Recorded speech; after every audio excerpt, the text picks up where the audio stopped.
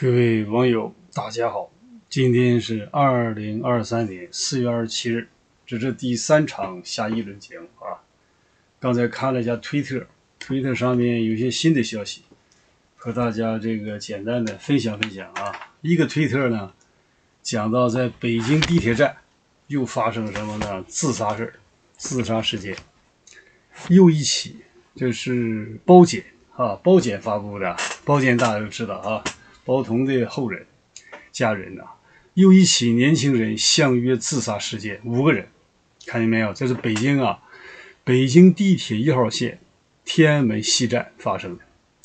刚刚朋友发来微信，得知北京某营某国营大企业裁员，被辞退的女职工跳楼身亡。在我的认知中，除了文革初期有大批人自杀外，没有哪一个时期在短期内这么多自杀的，尤其是年轻人相约自杀，更是闻所未闻呐！确实是过去没听说过，文革也没这样哈。自杀需要更大的勇气，不是绝望了怎么可能？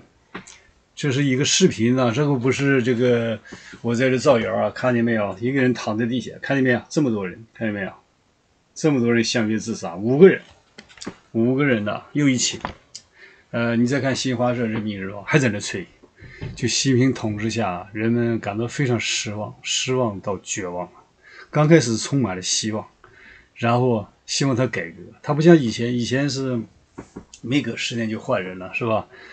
呃，江泽民那个那个时代啊，这个也是非常腐败的啊，闷声发发大财。但是后来不是换了，换了胡锦涛、温家宝。老百姓总是想，哎呀，换了人就好了。老百姓都是这么愚昧嘛。但是多少有点小想头啊，这下好了。呃，永远习近平干，他永远干，还要什么呢？还要绑架了这个呃公检法司啊，什么都是他的。你看现在你司法系统，你你没有办法了。呃，王小红管抓人，公安部；英勇管批捕。啊，张军张军是非习家军啊，这么讲吧。呃，管一审二审，关到监狱的是贺荣，你就下降了，出来以后，出来维稳还是王小红，你逃不出习近平的手心而且他现在还据说是，呃，这个儿子好几个，私生子好几个，以后你说怎么办呢？所以没有希望。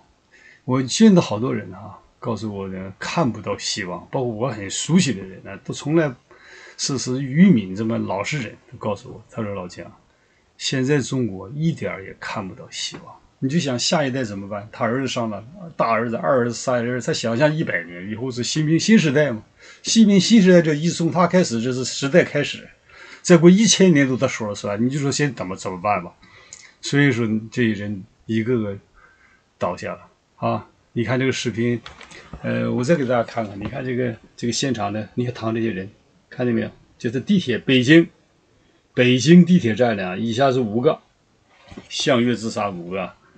啊，这可是很大的事儿。你再看下一条，李文竹发布的。李文竹是王全章的太太啊。呃，我最感动就是他当年，呃，王全章关到这个看守所里没有结果。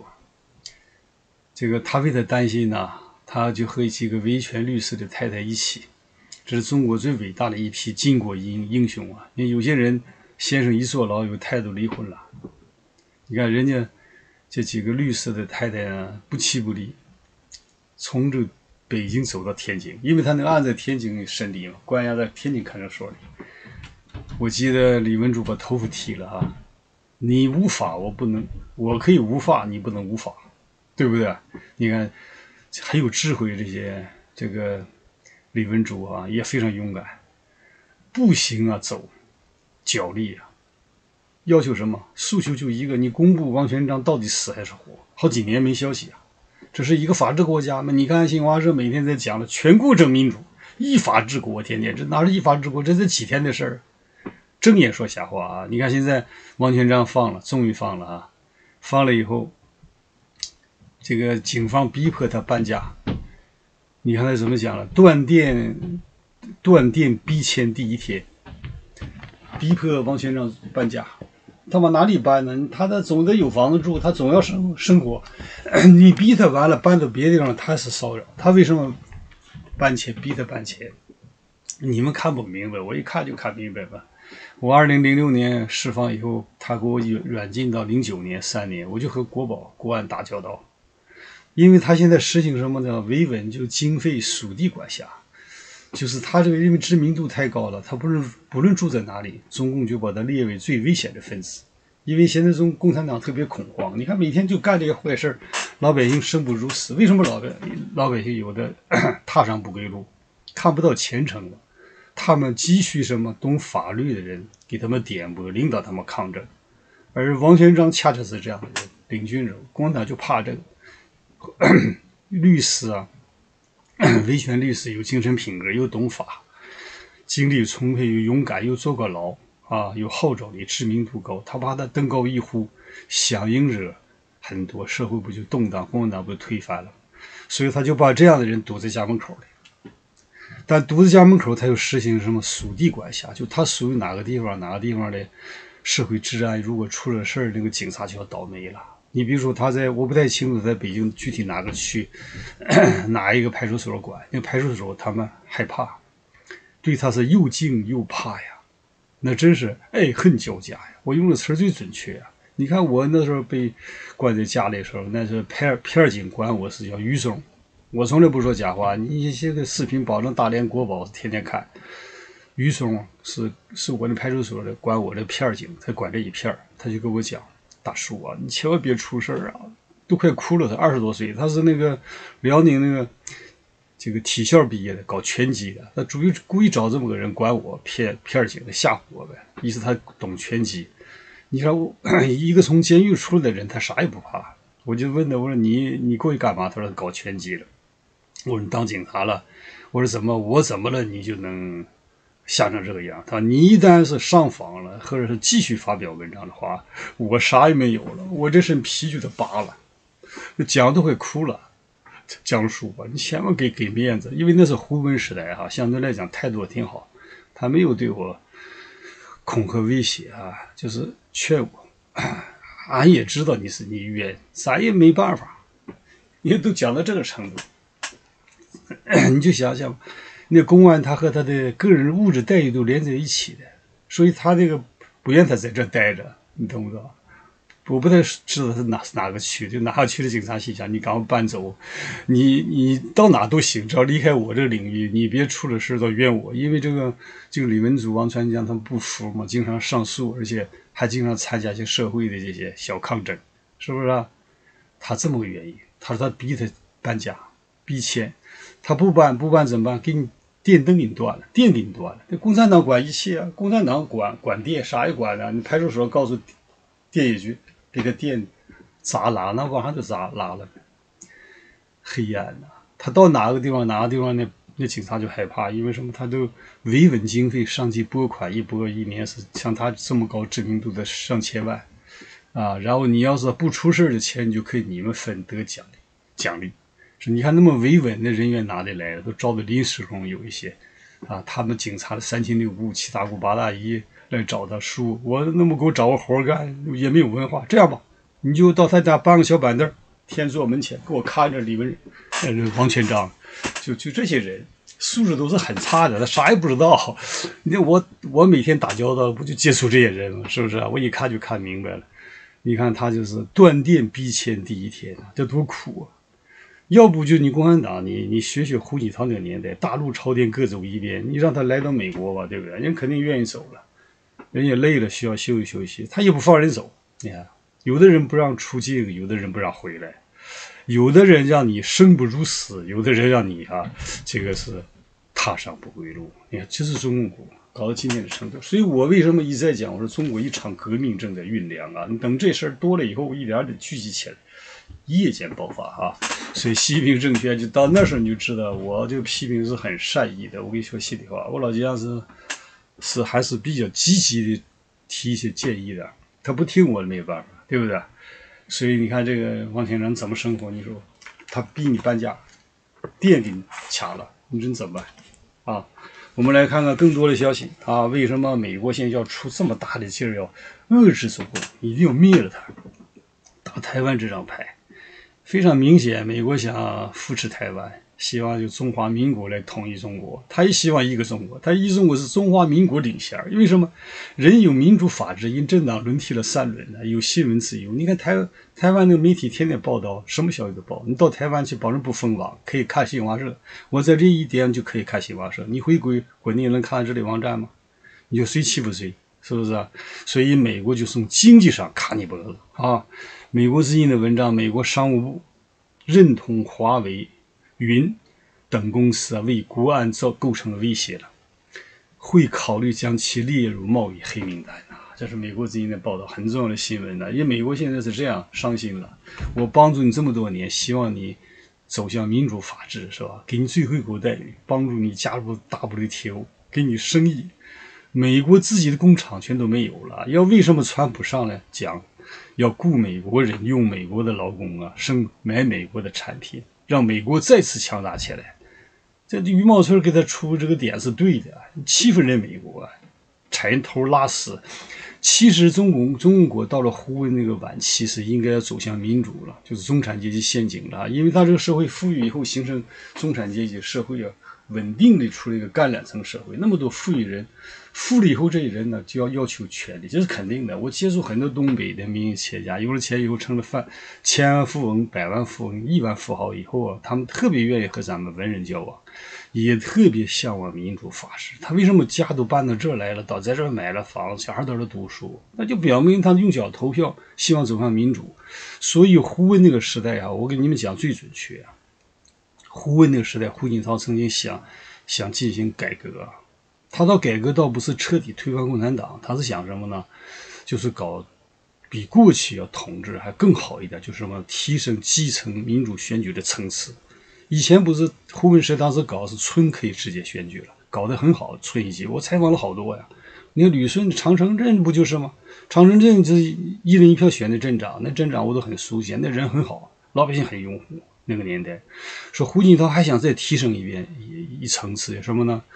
镇选举，这不就好了吗？这往前走，虽然是慢，但是小步快跑也很好，大得人心。因为你一选举了以后，官员他就没有权利了，对吧？老百姓说了算，自然这社会矛盾就不就化解了吗？官员不敢肆意妄为了，但是阻力太大了，为什么官员反对呀？啊，所以他没搞成，最后完了啊！包括什么呢？包括厅级干部公开竞选，那不是孙政才搞的。说习近平上来为什么首先灭了孙中山？你们不要以为仅仅是内斗，他怕共产党垮台。你看孙中山在在在在这个吉林省，第一个是向全国各地、世界各地招聘正厅级干部，就是招了不少人，数十人，搞得还是很成功的。孙政才是改革者，应该讲。因为他是胡锦涛亲自选选择的，啊，但是他没有搞成，是因为共产党他这个体制他掌没掌握军权，就是胡锦涛、温家宝他们，很可惜哈。你看胡锦涛在在人民日报发表那个文章，讲他回忆就是胡耀邦对他的教诲啊，他想学胡耀邦，但他刚一发表，江派那些人差点给他吃了。胡锦涛吓得从在在美国开会，你跑回来了。我当时写篇文章，你们看一看，往回翻翻看看啊。万维网上有那个博客啊，那文章你们看一看。所以现在这个美国现在已经彻底失望了啊，必须灭共，否则不仅是中国人没有未来，世界没有未来。因为他有了钱以后，他发展军事，他要统治全世界了，他需要再把习近平新时代要要强加给美国、加拿大给。给台湾，给所有全世界人民，你看现在的媒体不都是这样吗？不是这样报道吗？你看菜鸟搞这套东西，你看这宣传，不就是个方向吗？是美国吓死了，美国下决心，现在走不回去了，脱钩断链已经是大势所趋啊！搞不好一定是是要要要冷战，一直热战呢啊！你看这篇文章讲的什么？就是第一步是什么呢？华为云。和阿里云等中国云计算公司可能对美国安全构成威胁。你回想一下，陈敏尔在在在贵州搞啥？那不就搞云吗？他为什么把云整在那？他为什么能能过滤？就像我们这样人的远近，这个这个邮件能偷你的邮件是吧？搞些名堂，为什么？他就到云里给你做了，因为你得通过云才能发射出去。他在那个地方，他有技术、有人员、他有钱呢，有资金，他搞这些名堂哈。所以美国人看得很准的，余茂春讲是对的，必须转变国策啊！那么这里讲呢，他要对这里进行威胁，啊采取措施，列入什么贸易黑名单啊？他周二九名共和党参议员联联名致函，敦促拜登政府呢对华为公司的云计算部分部阿里云和其他云服务提供商实施制裁。他说，他们希望呢。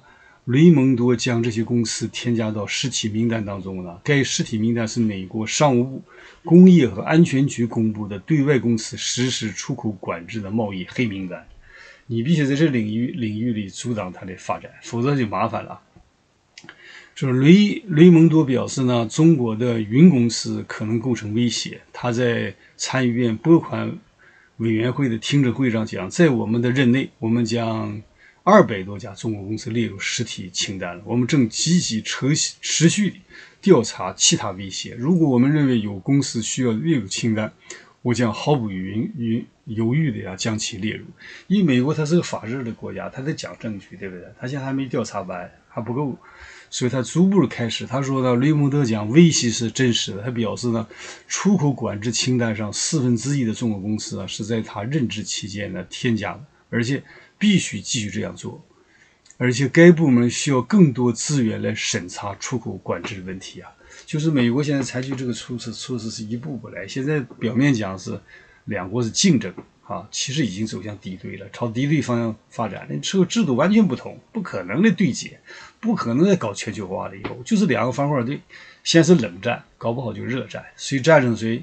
你要习近平战胜了。美国拜登啊，那你你就是全世界的主席和中国一样了现在人就派警察来了，敲门，你你老蒋抓又抓走了，在加拿大也没有言论自由了。你在讲咱好，讲的坏都不行，是不是啊？如果他干败了，那美国就得审判他，审讯审判他了，对不对啊？都一样的，没有别的出路啊，将来一定是这个方向。本人认为啊，那么这篇文章讲说是周二呢，有参议员比尔叫哈格蒂带头。致函商务部、国务院和财政部的信中指出啊，说中国云计算公司扩大与外国实体接触，包括受制裁的外国实体，是直接对美国和我们的盟友及伙伴的国安和经济安全利益构成了挑战了。你看他在这里，他都可以通过这网上，他他都能威胁，你就想想，能给你采取搞手脚，他甚至可以给你断了，他都有这个本事。如果你这里都是华为的设备，可不是吗？他一生气，习近平一生气，油头网上总是批评，给他断了。啪一声就断了，就断了，就像王传将家那个店一样，就断了吧。你美国能干，加拿大能干吗？你自由世界能干吗？这些老百姓能愿意过共产党统治的生活吗？你想对不对？我在这里可以批评呃这个特鲁多，特鲁多拿我没招，这多好，对不对？因为咱们是一个什么民选的这样一个领导人的社会，对吧？我讲的非常实在，你看这篇文章讲，他说。这个格雷蒂在听证会上要求雷蒙多考虑将这些公司纳入清单，理由是风险非常大。雷蒙多表示他会仔细考虑，并告诉哈尔戈蒂总体上同意你的看法，以后会逐步的都得都得给他踢出去，一定是这样脱钩，脱钩断断链，彻底的。除非他现在如果进行政治体制改革，学习蒋经国，那当然好了。他现在是搞这个独裁统治啊，以后还要几几还要还要永远这样统治下去？你就想一想，两个维护，两个确立的，确立什么？维护什么？你就想一想嘛，那维就不维护他自己的独裁统治嘛，对不对？说哈格迪在听证会上要求雷蒙德考虑这些公司纳入了这个清单了哈。那华为技术有限公司阿里巴巴没有回应媒体出提出的置评请求，这些企业都很尴尬啊，他没办法啊。是华为也好，你就将来你自己玩吧，你就只能中国自做自己的生意。你比中国现在拉拢了几个国家，金三胖、普京，还有伊朗，你们几个一起玩吧。这个世界以后以前以前以后一定是两个阵营了，现在冷战了，最起码是冷战，搞不好直接就开战，就台湾问题了。啊，他说一九年的五月，美国商务部以国安为由将华为列入贸易黑名单，当时还给这个孟晚舟抓了，是吧？软禁起来了。华为未否认。它构成了安全风险。你华为为什么发展这么好？那不就因为这个华为它其实是有军方背景的、情报系统的背景的企业，谁都知道了，对不对？那有什么很正常？你这企业发展到一定程度，共产党就开始派人就进来了，对不对？哪个不是？你为什么像马云变成今天这个样子了？对不对？什么原因？就是他已经被肢解了，他的企业已经被情报部门彻底控制了，对不对？那么这篇文章讲共和党参议员的联名信，提及啊，我们敦促你们使用有可用的工具，通过制裁、出口限制和投资禁令。现在已经在投资方面，美国也开始出手了。就是华尔街大老板，你别想把这些资金都投到中国国，为中共集权统治服务啊！你不收回来，不是说美国就制裁了。所以这就已经向这大方向就脱钩断链走了，已经没有回头路了。我跟你讲，你习近平走到今天这个程度，你给我讲还有什么路可走？你看出习近平又要改革的样子吗？现在每天在继续倒退，啊，你看连间谍法都都出来了，动不动抓间谍。今天又开始出台出台网络，又开始抓人，对不对？又追逃猎狐也也也来了。过几天给我老家也说不定了变成狐了。你你随便整，你爱怎么整怎么整。我认为，我跟你讲吧。他是能听进我的劝告，就没有今天。你看，我到西雅图去接受那个海外外围网采访、楚媒的访问，我当时给没给习近平出积极提个建建议？就我这节目刚建立的时候，我还找了个老华侨啊，给他讲，让他先平反重庆的民营企业的六百四十个黑社会，带动全国的平反。他听我的话，哪有今天？我就跟你讲吧，现在我现在不给他建议了。我跟你讲，我现在是彻底否定他。我跟你讲，为什么呢？他听不进批评意见啊！他这个人是我为什么他愚蠢？愚蠢的人就是什么？你给他出好好点子，他他不听。包括咱身边有的人啊，我从认识他，我就告诉他有些事儿，投资我不能做，他不听我的。你看最后怎么样？死了，项目还在那放着，要建一百套 house，那不人都是人，新冠期间都已经过世了，那还没建起来。是不是啊？到现在还是还是一片地在那放的，我只是不愿意详细讲啊。有些人他是不听你劝，那没办法，一点招没有。我跟你讲嘛，就一路走到黑。习近平不就这样？多少中国进步的知识分子在帮助他，他他认吗？他不但不认，还给人关监狱的。你像徐志勇、丁家新，那都是帮他。那社会发展到今天，就就胡温有点他脑子，尤其温家宝。这个人还是个了不起的人，他已经看到了，就中国经济已经变成全世界第二大经济体。你再不进政治体体制改革，社会肯定是大的动乱和动荡啊！你不信再看，你你你们很快会看的，在未来几个月，你看习近平统治不了多久，有的人预测他五年、十年。你听我这句话，他的下场是极其负面的，真的。就马上就要来了，这这一幕真的，你不要着急。任何事情的社社会演变，它都是有规律的发展的，并不是咱比别人聪明，是因为咱们经历挫折太多了，吃的苦太多，咱们反思这个历史，咱们有的是时间思考才得出这个结论的，他不是在随便乱讲，对吧？你看美国现在动作多大？他说一九年的五月，商务部就以国安为由将华为制裁了哈。共和党参议员联名信在在联名信中讲啊，我们督促你们使用可用的工具啊，通过制裁、出口限制、投资禁令，要采取行动，进一步调查中国云计算服务公司。因为你现在这不是不再这样搞，美国就完了。你看现在那个那个梅杰梅伊夫都鼓动这个美国德州独立啊。要把美国搞乱了。世界上大上次大选就中共搞的，差点搞乱了。为什么会出现国会那个事件？这不中共背后搞的吗？对吧？一中数十年渗透美国太厉害了。你到美国去看看吧。我接触了好多人呢，啪给那个名片上面什么什么同乡会、联谊会，哎，你能不能参加咱的活动啊？这个会那会，福建的同乡会都找过我，我我没我这是不参与他们这个，我头脑很清醒。当然我也没表面也没顶他们，你何必？总是得罪人，他们也是被中共欺骗的，对不对？那些的组织名堂都干嘛呢？那不全是红色渗透啊，都是骗钱，两边骗钱的。为了到中南海，你让我上观景台啊，这个呃哥们给你摆平，你想整谁啊？这这都搞这套东西，拿的外宣经费到这边再忽悠，两边骗的。这种人我见的太多了，在待了十年，我说心里话，我在监狱，你想整天就是和那些诈骗犯打交道，我也学聪明了。他骗不了我，我只是不愿意给他点头了而已。因为什么太多了？你说哪一个这些这个会那个会搞这些名堂，那不都是这个政治体制在里边附庸品，寄生在中共集权统治小毒瘤，就这么一伙人，是不搞的？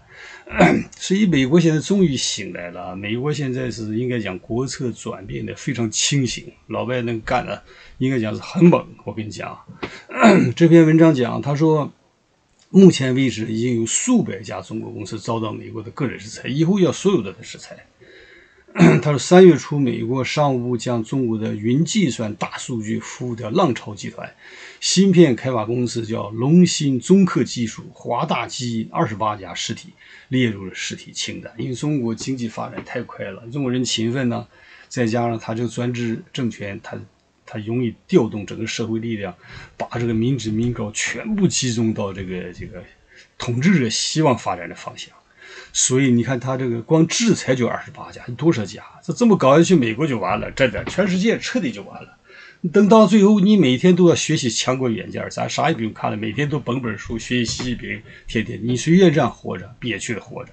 人美台湾老百姓为什么不愿意就是要搞这一套？因为以前这人家国家是一个是自由的国家，对不对？一个三权分立，你看人家国家是人这个这个台湾这个。现在什么政党轮替三轮了？你国民党有本事就竞选呗，对不对？那谁愿意就是一党执政？谁都不愿意。他想把这些强加给全世界。你想世世界美国能干吗？美国肯定现在需要什么釜底抽薪，就经济上先给他断了，不给他钱，你自己整去吧。啊，这叫你自己没有钱的时候，你就陷入内斗当中，连维稳都没有钱。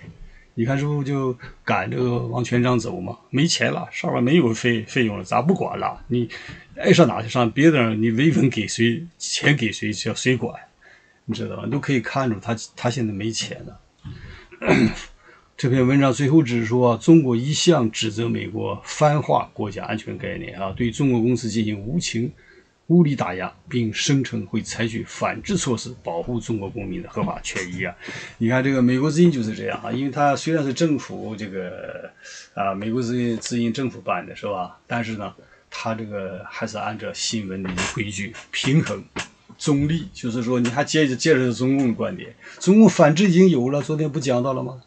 美国的公司啊，中国的官员、中国的雇员受到调查，公安去调查他们，准备整他们，对不对？我们再来看另一条消息，啊，这还有一点时间啊，到半个小时就结束了，转到下一节目了啊。那么这个昨天万维网报道的，英国查理斯加冕礼，中共或派他出席，派谁出席？派韩正啊。这篇文章介绍，他是四月二十七号，这个预料中国国家副主席韩正将出席英国国王查理斯三世加冕典礼。这老牌资本主义，这个是这些这一套政治制度挺繁琐啊。还有这个这个呃加冕呐，女皇啊，根据美国的政治新闻网站 Political 啊，两名匿名的美国官员透露，韩正将参加啊，也就三五月六号在西敏寺举行的加冕礼。说韩正呢，一八年到二三年一直担任负责港澳事务，亲眼见证香港从修例风波到港区国安法落地，选举制度修改。新选举之下，立法会和特首换届一连串重大事件，他在中共二大卸任政治局委员了，担任个闲职，就是王岐山给他了啊。这篇文章就讲这件事。我要告诉你们，就是说，韩正啊，他现在采取的办法就是，实际就是习近平也不信任他。你就看这个李强上任，回想回想，对不对？习近平肯定是根据我分析，他是把李韩正骗到北京来开会啊。开会，韩正去了以后就留下了，扣下了不让你回去了。所以他们两个，他和李强两没交接权利，这都很不正常啊。这证明什么？习近平他对上海不放心，因为上海帮控制的上大上海啊，江泽民、韩正都不上海帮，也非常腐败，反西势力在那儿也是很深的，你很难全部清理光。你李强为什么在那么受罪？是不是？呃，封控了好几个月，呃，天怒人怨啊。习近平逆历史潮流而动，违背老百姓的民意，非要给提拔整个总理了。现在对吧？硬挺了当上总理，韩正肯定一肚子气。他对韩正，韩正也不服他，他也不服韩韩正。但是他要表面用他，就给他一个副主席，让他忽悠这个，做一些这个礼节性的了。啊，那韩正呢，为了保住自己这个利物质利益，因为这个待遇非非常好，人不都自私了。他也无力，他自己腐败问题也被习近平抓住把柄了，是吧？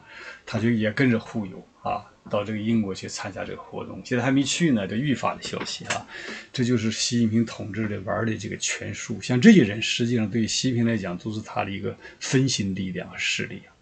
这时机不成熟，成熟这些人，我跟你讲都是了不得啊，因为他比习近平有本事的多了。他最起码打上海，你让他干时间那么久，他也是从基层干上来的，下乡知青，你想想啊，一直干上来，那绝对是在那个这个上海人脉关系，这个非常的盘根错节，了不得地方势力，对不对？所以这个这个是很诡异啊！他一个胡春华，一个这都是将来都有可能是是对这个习近平来讲都是啊具有挑战性的势力啊！只要这个人肉体上没有消消失，习近平都是夜夜不能寐啊！真的，因为你想他干这十年，给国家整到什么程度了，是吧？后来为了收买这韩正，哄着韩美，韩正就搞了什么大湾区都交给韩正了，搞香港事务他也管。当然，他也得听命习近平了，对不对？我要讲，就韩正现在实际上也好，还是胡春华也好，他们还是在等待机会。这就看未来这个中国会发生什么事儿。现在谁也不知道会发生什么事儿。本人认为呢，只要一开打，他不论在台海半、台湾海峡，还是南海，还是朝鲜半岛，只要他出事儿了，这个社会就进入剧烈的动荡当中，习近平政权就垮掉，很快就垮掉了哈。你们不信看吧。是不是啊？你就像他打台湾，打台湾，他觉得忽悠什么呃台独啊，激起老百姓的仇恨，就可以把台湾拿下来，没那么简单呐！你现在看看每天天台台湾台湾电视台的报道，你看那些细节，你就知道他有多大的把握，他能武统台湾。我认为他就没有这个本，根本就没这个本事。你看他十年以来上来就哪件事做成功，就没有一件事能做的，你人看挺心里挺 ủy 替的。对不对？你假如他这个雄安新区，他说不是雄安新区，咱们要在这个搞一个副交通交通中心啊，交通枢纽，这是枢纽，全世界最最豪华的啊，这最棒的，可以呀。说三年四年，现在七年了，对吧？六七年建成了，去剪彩一看，这个人没啥本事，但是还行，挺老实，还能建个交通枢纽也行。他搞这个千年。大计，你看他那个规划和设计，评估费花了花了多少？那是几千亿打水漂。你看现在搞成啥样子？同样啊，画个大饼，武统台湾，武统台湾以后，中华民族就振兴了，然后就胜过毛泽东、邓小平。他哪一件事不是画个大饼，到最后都是零？你说哪一件事？一个人就是。你温故知新，你就包括你，你对我老将了解是一样的，是吧？你看看他以前做了什么事，你就知道他他他能靠不靠谱，就这么简单。你交朋友都看，你就问什么人都问你个人简历啊，你以前干什么，在哪个城市啊？有的人还问问找人了解了解你，人就知道你的过去，你知你现在，现在人就看到了未来。你就看习近平现就他干这十年做的事，你说他未来是什么？未来是是一定是在一个统治的某一个脆弱。点上咔嚓一声，完了，啊！人们看着高楼起，人们看高楼就坍塌，最后啊，我跟你讲，很负面的。这不是我唱衰他，我是很实事求是。他没整过我，我俩没有什么像波起来，我有点我个人有意见对他。我认为他就是确实是啥，就是实在是给太可惜了，人家自己。爸爸是文字狱的受害者，他能把中国搞到今天这个程度，这这是这充分说明了共产党的统治到了末期啊，没有修复自我修复的功能了。